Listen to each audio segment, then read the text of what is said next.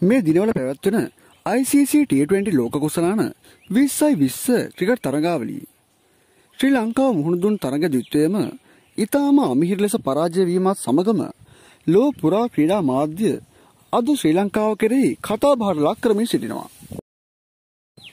ශ්‍රී ලංකා කණ්ඩායම දකුණු අප්‍රිකානු කණ්ඩායම හමුවේ හා බංගලදේශ කණ්ඩායම හමුවේ ඉතා දරුණු පරාජයකට ලක්වීම නිසාම ශ්‍රී ලංකා කණ්ඩායම ලෝක කුසලාන සුපිරි අට දෙනාගේ වටයට සුදුස්කම් ලැබීමත් මේ වන විට ඉතාමත් අභියෝගයකට ලක් වී තිබෙනවා.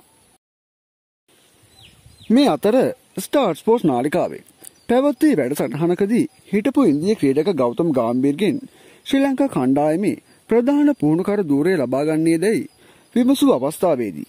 ඔහු ප්‍රකාශ කර සිටියේ සියලු අතපෙවීන් වලින් තොරව කටයුතු කිරීමට තමාට ඉඩ ප්‍රස්ථාව ලබා දෙන්නේ නම් තමා ශ්‍රී ලංකා කණ්ඩායමේ ප්‍රධාන පුහුණු කරදූරය භාරගන්නා බවයි. මේ පිළිබඳව ඔබගේ අදහස් කුමක්ද? ඔබගේ අදහස පහතින් කමෙන්ට් කරන්න.